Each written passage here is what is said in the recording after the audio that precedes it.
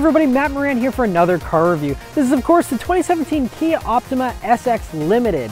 Huge thanks to Kia for providing me with this very nice Optima to review for you guys today.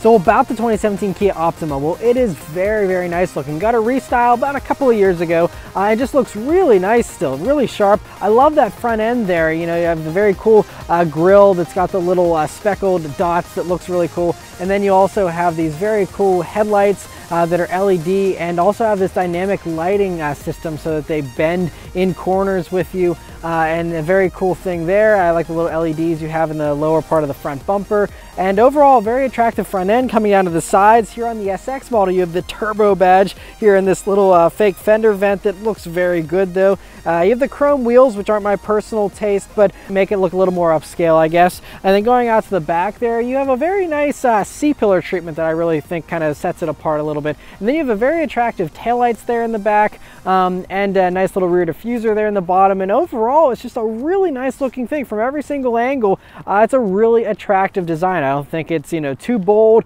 or too conservative. It's just a really good design all around. Right, so the interior of the 2017 Kia Optima SX Limited. Well, this is basically a fully loaded Optima, so it is very nice in here, as you would expect. Uh, so anyway, first things first, sitting down in these seats, very nice quilted Nappa leather seats you have here uh, in the SX Limited, and they're just really beautiful looking here in this uh, uh kind of uh, mahogany looking color, a darker brown uh, with a little bit of purple, I think, in certain lighting circumstances, but it looks really nice. I just really love the way they look, and they're also very comfortable seats as well. Very soft. They're heated and cooled, um, and they do those functions very well. In addition to you know being very comfortable, the only thing I can complain about though is the bolstering of the seats. Um, you know, again, we're talking about a mid-sized family sedan, so I'm not expecting sports car bolsters. But I did notice I've already driven this car for about 120 miles, and I did notice it doesn't hold you in corners or when you're making turns as well as some of the others do. It's just the bolstering is a little too relaxed, I think, for uh, my preference. Um, but again, like just even for practical purposes of cornering, you know, at normal speeds. Uh, I just wish there was a little more to hold you in there. Um, but otherwise, they're very nice seats. Next to the steering wheel in the Optima SX, which is a very nice wheel. Uh, it's got a flat bottom to it here. It's got a really nice 9 3 grip, nice little 10 and 2 notches, and a, a somewhat thinner wheel than some of the sportier stuff out there, um, but right on par with uh, most of the others out there. Just a, a, really nice wheel. It feels great to use. Uh, fair assortment of buttons on it here, uh, but not super cluttered, you know, and after uh, a day or two, you get used to where everything's set up. Not too bad. The only thing I can complain about with the steering wheel is the paddles, which look very nice, but they don't feel very nice. And you can hear they just sound cheap. It's very cheap, hollow sounding plastic.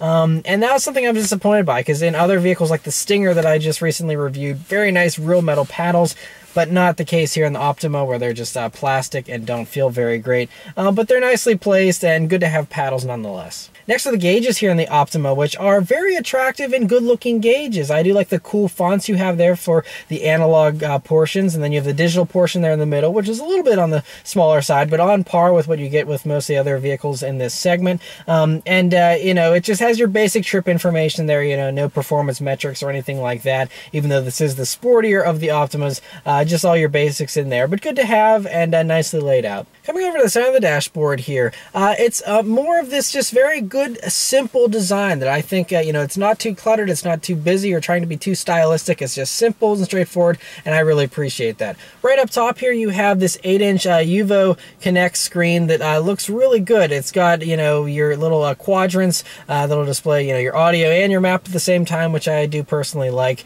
Um, and, you know, it's just very easy to navigate. Thankfully, just being a simple touchscreen, it's not too far of a reach. Uh, it's very responsive and easy, you know, so I mean, the maps look good if you want to, you know, do your uh, traditional navigation system uh, stuff there. Uh, but then, you know, if you do want to, you can go into Apple CarPlay and Android Auto, which is standard here on the Optimas. Really nice to have that. And then you can just use your phone's maps, uh, which is a lot easier for a lot of people, myself included. Um, and so great to have all that functionality in there. It also will do Pandora and all those types of things. Uh, but then as far as the normal audio stuff for radio controls and all that. Very logically set up, very easy, you know, with the presets there, very easy to tune thanks to uh, its traditional tune knob you have down here, along with your standard volume knob, which is always nice to have. Um, but while we're coming down to the rest of the controls here, you do have a good amount of buttons here as shortcuts to the stuff on the screen, which doesn't make much, much sense to me because it's a very redundant. It's a lot of buttons uh, down here, and I would just like them to just get rid of half of those and you know, make it a little simpler. Um, but anyway, good to have those shortcuts uh, for those that want them. and then you have the climate controls down here, which are uh, you know a nice uh, feeling knobs and uh, look good, and just your basics there. And so overall, very simple and straightforward here in the center console, and I like it a lot. Coming back by the shifter here, you do have a couple other extra buttons. You have your heated steering wheel button, which is very nice and works very well here uh, in the colder months. Heats up very quickly and a really well done heated steering wheel. You also have your drive mode selector, and then your uh, seat controls for heating and cooling, your surround view camera, and parking brake. And uh, good to have all those nicely condensed down there. As far as storage space in the Optima, it's really good. Uh, so first off in the doors here, you have a large map pocket with a bottle holder, which is always great to see. Coming over to the center here, you have this nicely uh, covered uh, little center area that has um, a power outlet, a USB jack, and auxiliary jack, and then you have this nice uh, little cubby that is actually a Qi wireless charging pad as well. So if you have a phone that does wireless charging like mine, uh, you can just lay it down in there and immediately have you know wirelessly charging uh, capability. And so really great to have that. And like I said, it's a good size. You can fit all the modern you know large smartphones in there with ease, and a really nice little storage space in there. Coming back, you have another very deep uh, square area that you can fit the key or something like that. But it's larger than that. You could fit you know other items in there, but nothing you know that's a cell phone size. Then you have two cup holders, which are a good size. Then you have the center armrest, which is uh, really nice and uh, softly padded uh, with more of this great leather. And anyway, you open that up, and then you'll see a little uh, top portion here that is removable, and you can uh, put a bunch of stuff in there. And then beneath that, you have a nice, large, deep uh, cubby that uh, you can fit all kinds of stuff. You know, sunglasses, uh, wallet, all that kind of stuff fits with ease in there. I also have another USB jack in there as well, which is good to have. And so overall, like I said, plenty of storage. Backseat space in the Optima is really great. A very spacious and roomy back seat.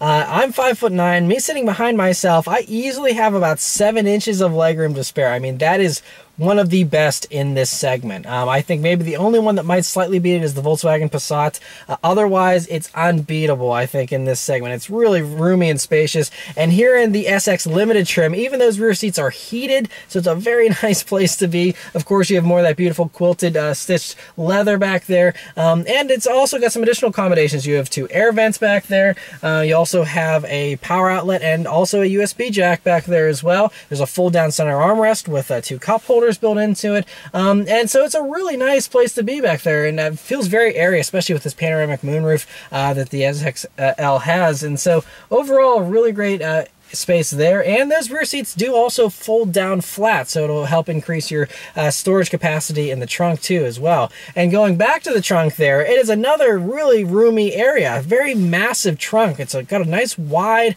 opening uh, and it's very long and uh, pretty deep as well. And just, you can fit a ton of stuff in there. I mean, easily several suitcases, three or four suitcases, full size without an issue in that trunk. I mean, really spacious trunk. Um, and then also, it's a nice bonus that beneath the trunk, you actually still have a spare tire, which is getting more and more rare these days, and something I think is still really nice to have, um, so you're never stranded. And so, uh, overall, a really great trunk area. All right, so start up and go for a drive. The uh, Kia Optima has this very nice key. It's uh, slender, has a really nice weight to it, and has metal buttons there on the back. So, I mean, a really high quality feeling key. And of course, it's keyless entry and push button start here in the SX Limited. So you just leave the key in your pocket, hit the metal engine start button, and it starts right up. All right, so setting off from the 2017 Kia Optima SXL. Well, it's a really nice thing to just cruise in. It's got excellent visibility here, a very large windshield that's easy to see out of, a hood that drops down nicely. Uh, you have good view out of the sides here with large side windows. You have blind spot monitoring, so you don't really have any blind spots. And view out of the back is uh, fairly decent, uh, although it is a little bit of a smaller view there in the back, a little bit thinner than some of the other, you know, family sedans in this segment. It's a little harder to see out of, but of course you have all the safety tech um, you know, with uh, 360 cameras here in the SX Limited um, and all this parking sensors and all that kind of stuff. So very easy to see out of. But let's turn down onto this back road here. We'll put it into sport mode and let's see how it does. Here we go.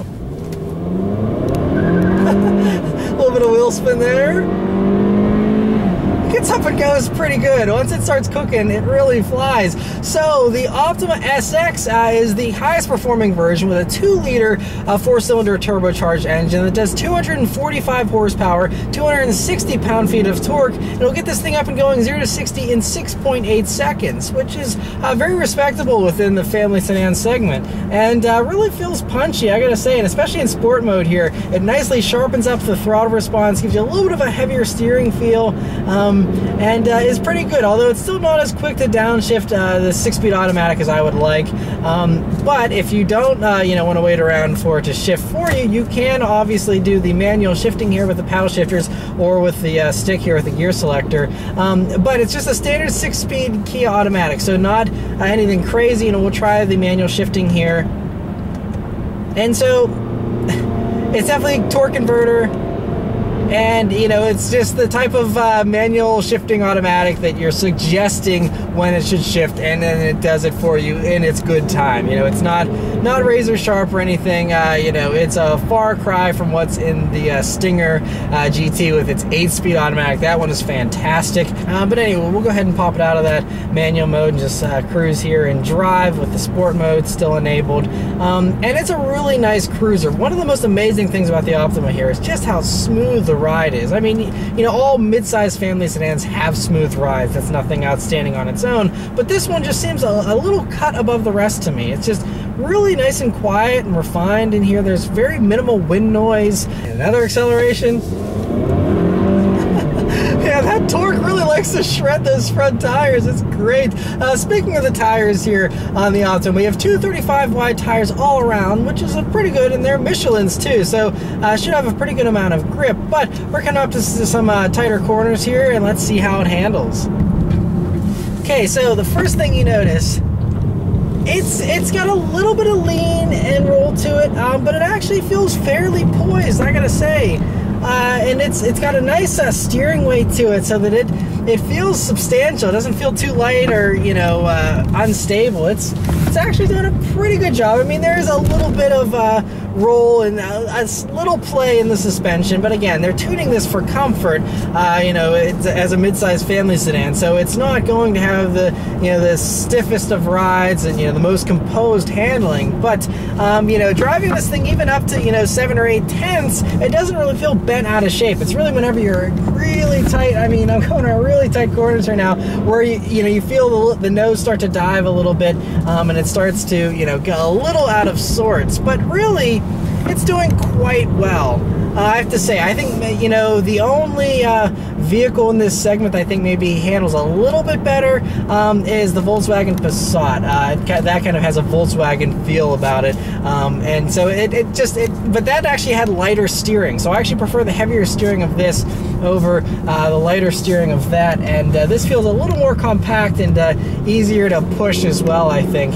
Um, but it's a, it's a pretty, pretty good handling thing, I gotta say. Other things to note here, like I said, throttle response is nice and sharp here in the sport mode, uh, but even in the standard mode, um, it still is pretty responsive. I've, over the course of 120 miles, there wasn't really any times where I was like, you know, wanting it to give me more power. It's usually doing exactly what I expected, exactly what I wanted to do, um, which is really great. It allows you to have aggravation-free, stress-free driving. Um, you just, you know, tell it what to do, and it does it all exactly the way you're expecting, and there's no surprises, no annoyances. It's just a good car, this car. It's really, really well done. Uh, brake feel also is really good. You have a little tiny bit of travel before you start getting to the brake pedal, but it's really a pretty immediate bite to the brake pedal, um, which again is exactly what you want, what you expect out of something. Uh, whenever you get on those brakes, you want to have them start to bite really quickly, and overall, it just feels really good. I think one of the things that really helps the handling of the Optima here is that it's fairly lightweight, especially for its segment. Uh, these only weigh a little over 3,500 pounds, or 3,584, I think, here with the limited trim uh, and all of its extra bells and whistles. Um, and uh, you know, that weight, it's it's still fairly lightweight, and I think that's part of why it feels as good as it does in the corners. Other things to note, though, like I said, I've been driving this vehicle for about five days, about 125 miles now, um, and I'm just really impressed with it. It's just a really great daily driver, you know, just for going back and forth to the store, you know, doing all your normal errands and things like that. It does it all with a smooth, quiet, comfortable ride, um, and it does it all, you know, very, very well. A couple other things to mention here: uh, the stereo. It has a Harman Kardon stereo in it. Um, it's not quite as impressive, I think, as the one in the Stinger, um, but it still does sound very, very good. And I really like Kia. They have this software that helps satellite radio to sound better, and I've really noticed compared to satellite radio listening in other vehicles, most other vehicles actually, it always sounds a little softer and warmer uh, here on Kia's uh, sound systems, at least with the Harman Kardon uh, stereo, than it does in other vehicles. And so, especially if you like satellite radio a lot, the Kia really they've they've really kind of refined um, how that sounds and optimized uh, satellite radio you know listening experiences. So that's a really cool little uh, interesting thing about this uh, you know infotainment system, which does work very well. It boots up very quickly.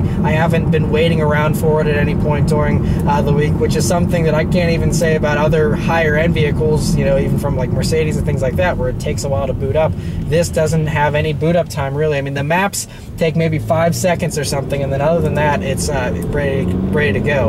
Um, other things to note here, though, uh, fuel economy during my week of driving here. So, like I said, 125 miles, primarily city driving, stop and go traffic, that type of stuff, which is you know the worst for fuel economy. Um, so, because of that, my average uh, MPG was 19.3 miles per gallon. Now, these are rated at 22 in the city, uh, 31 on the highway for a combined average of 25. So, I mean, I fell well short of the city number, even you know, which is supposed to be 22 uh, with my 19.3. I mean, yeah, I got on it a little bit more than probably probably the average driver would, and you know, uh, a little more aggressive uh, starting from a stop, things like that. But still, um, it's just the way it goes with these turbo motors. Unless you're really taking it easy, um, you know, they just they can suck down the gas a little bit more. Um, so that's the only thing.